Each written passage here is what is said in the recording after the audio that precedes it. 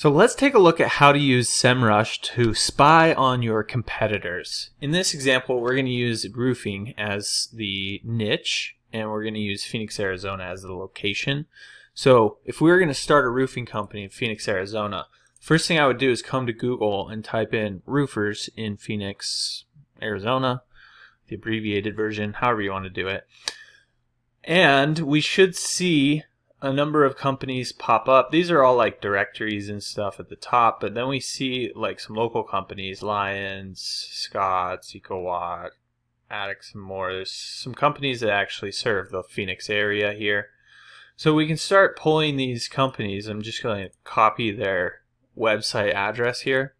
Come over to SEMrush and paste the URL in and click search. When I do that, it pulls up this overview page where we can see all sorts of different information about what this company is doing with their online marketing.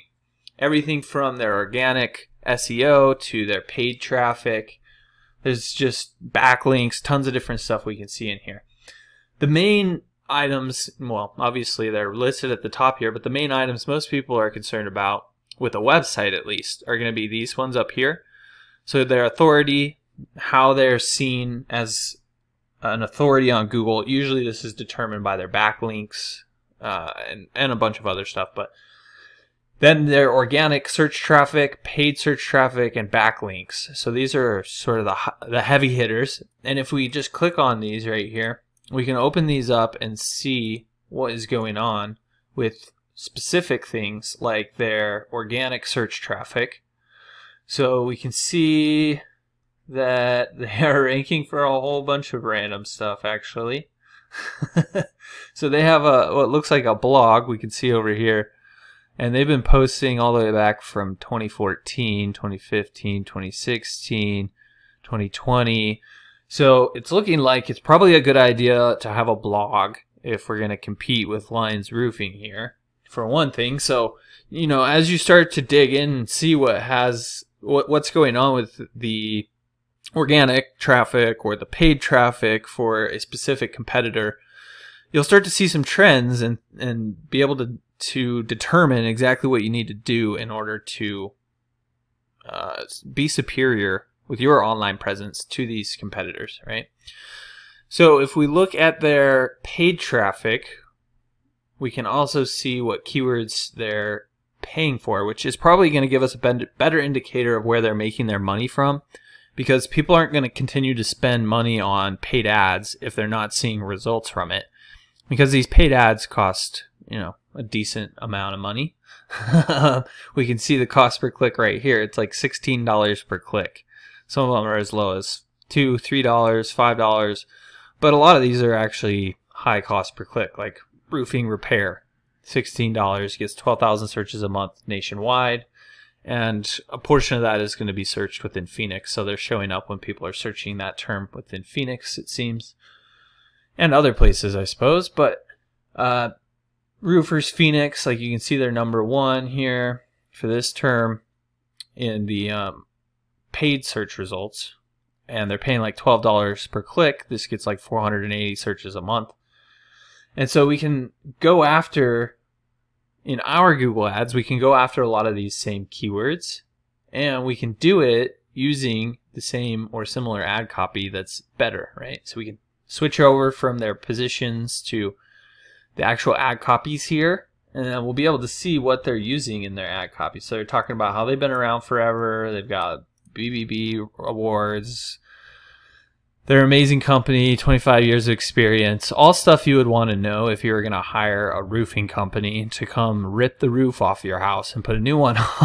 on, right? So from here, we can even export all this information, the different keywords they're going after, the ad copy that they're using, the blog posts that they're writing, the keywords they're targeting with their blog posts, we could even refine down the actual pages that they're using. So you can see they're using uh, like this residential, uh, this forward slash residential here. You can filter out these different pages through the advanced filtering here. So you could like exclude URLs containing forward slash blog. Apply this condition. And we will be able to see their quote unquote pages, right, that are not their blog posts. And even get a better sense of what keywords they're ranking for with their main pages, what traffic they're getting from that, and all that good stuff. So, tons of helpful information. Again, you can export this, export this if you need to, but tons of helpful information about your competitors, what they're doing to have success. And my my standpoint is why reinvent the wheel? If you can just go figure out what's already working in a niche through taking a look at several different competitors, like this is another competitor here, Scott Roofing Company, and we can go through and take a look at what they have going on, where they're getting backlinks from, who their competitors are. We could even take a look at who their competitors are too, and start finding even more competitors, and start to find some trends see what all these companies are doing, what keywords they're going after. They're all going after terms that have roofing in them, it seems like, which is obvious, of course.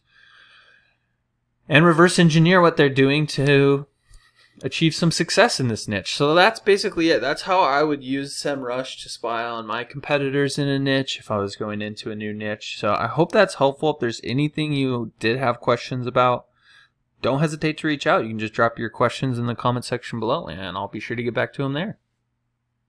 If you're like most new business owners, you're probably struggling to get your online presence established, let alone get it to the point where it's bringing you a consistent flow of customers, right? So that's why I created this free course where I actually walk you step by step through the whole process of setting up your online presence. This is the same process we've been using for our clients for over a decade at one of my agencies. And essentially, I'm going to show you how to set up an SEO friendly business name right from the get go, how to develop your website really quickly and easily, how to set up your Google Maps listing, start getting some Google reviews, everything you need in order to have a substantial online presence where people can actually start finding you and, and purchasing your products or services. the best part is, I'm going to show you how to do it in under a couple of hours and all for less than 50 bucks. If you're interested, I'll leave a link below where you can get signed up today. Make sure to check this course out for free right now because I'm probably going to start charging for this at some point in the future. All right, I'll see you on the other side.